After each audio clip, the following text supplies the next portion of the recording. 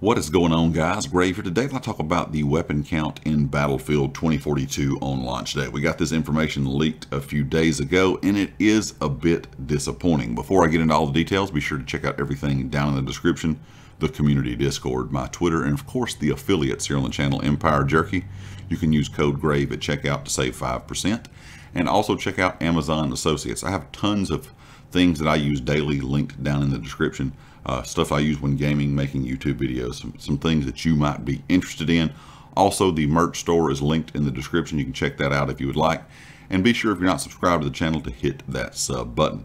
We've gotten the information about how many weapons we will have on launch day, and as it stands right now, unless EA and DICE add more into the game with a day one patch, we will only have 22 weapons available to us on launch day. Now, of course, early access starts this Friday. The official game release date is next Friday, the 19th of November. So depending on what edition of the game you have, you may be able to play. You may be able to play this Friday or next. But I think a lot of people will be disappointed to hear that we only have 22 total weapons. So that includes three utility weapons, three marksman rifles, three pistols, three sniper rifles, two light machine guns, four submachine guns, and four assault rifles. This is a very uh, small, low count of weapons uh, compared to other Battlefield titles. Only 22 on launch day is not a lot, and I think people will be disappointed with this. Now, we can kind of think back to EA and DICE a few months ago talking about they wanted to treat this game as a live service game, which means, of course, we're going to have probably something compared to seasons and other games where, you know, you have a season that lasts so long, you get content within that. We know we're going to have something like a battle pass, so we may be able to get content within that. So within the first couple months, this list could be a lot bigger. We're just not quite sure yet, considering we have not got a lot of this info from DICE and EA just yet. I kind of wish they would put out some information about how they're going to do the seasons, how they're going to do the content, how they're going to do the battle pass, so we could have an idea of when this stuff will come out. Considering we're so close to launch day, I'm kind of surprised we haven't heard about this information just yet.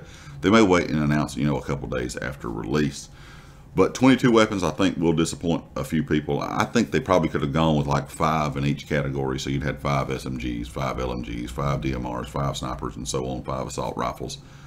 Because, in my opinion, a smaller weapon pool is nice, but this is a bit too small for a Battlefield game compared to what we've come to expect.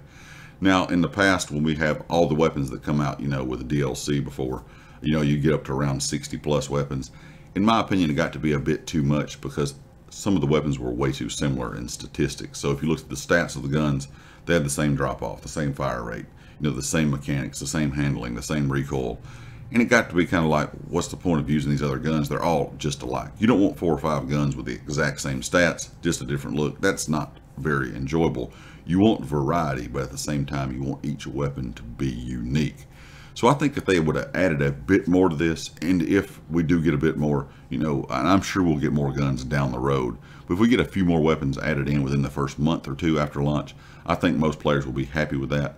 But as it stands right now, 22 weapons at launch will probably, like I said, some people will be upset with that. Some people in the community probably won't mind. It's going to kind of, be, kind of depend on how you feel about the game in general. We all know a lot of people didn't like the beta. Personally, I enjoyed it, everything but the specialist anyway.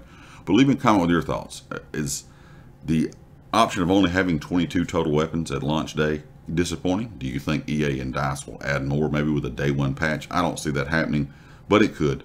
Uh, and how many weapons do you think will end up with with in the game down the road?